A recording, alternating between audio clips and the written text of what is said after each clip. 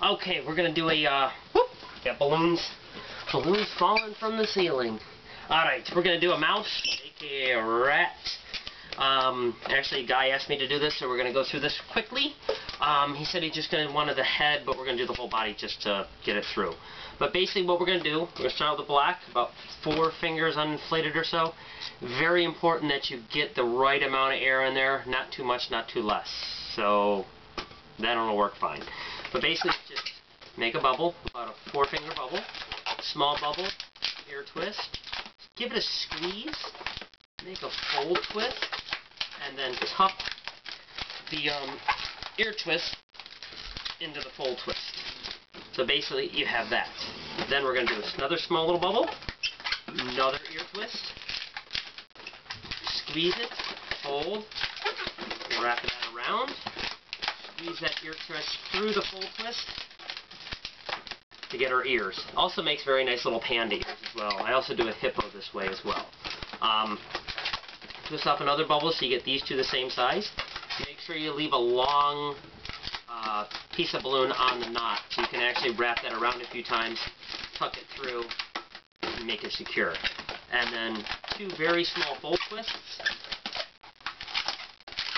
this, I put too much air in it. So I'm actually going to relieve some of the air. Now, okay, and then tie it off. So you get this kind of a shape. Then we're going to take our blush 260. I have about four fingers uninflated. We're not going to use the whole balloon, so that's not that important. Wrap that around these two, like such. Come up, wrap it around the ear really squeeze the balloon really, really hard. So that way when you go across, there's no inflation. It's actually just balloon that goes straight across. Wrap that around. Come down. Wrap that around again. So we got that. And then a fold twist.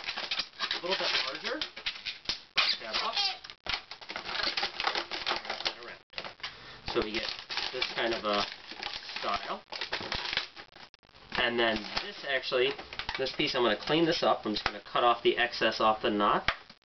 And then this one just gets pushed up in between.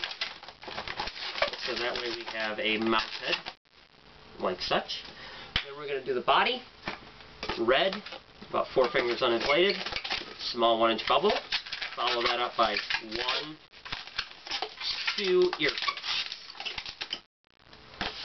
do a pinch twist, fold it over, and those two together.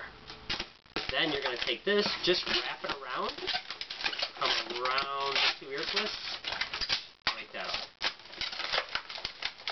to get that kind of effect. That's going to be our body. Um, then we're going to do the shoes and the gloves. Shoes we're going to do with yellow, bubble, fold, twist, wrap that knot around, another bubble. So you get two bubbles with the full, full twist. Break that off, save that, tie it. We need two feet. One bubble, fold it, spin it, around, second bubble, around, take off the excess. One foot, two foot. We lost our white one. Now this is going to be the glove. Bubble, ear twist, fold, that up. Going a little bit fast on this one because hopefully if you're doing these, you kind of know how to do balloons anyway, so don't want to be too redundant. Ear twist, pinch twist, fold, pinch twist.